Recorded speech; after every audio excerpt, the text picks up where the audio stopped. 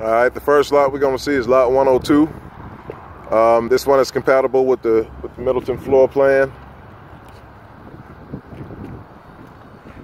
The entrance to the to the development is up here.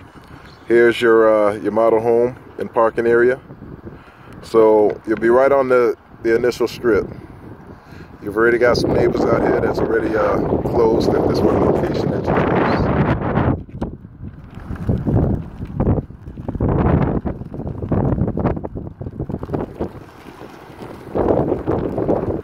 And as you can see, it's not a private lot. Um, this one here is set for the home with the bonus room, elevation four.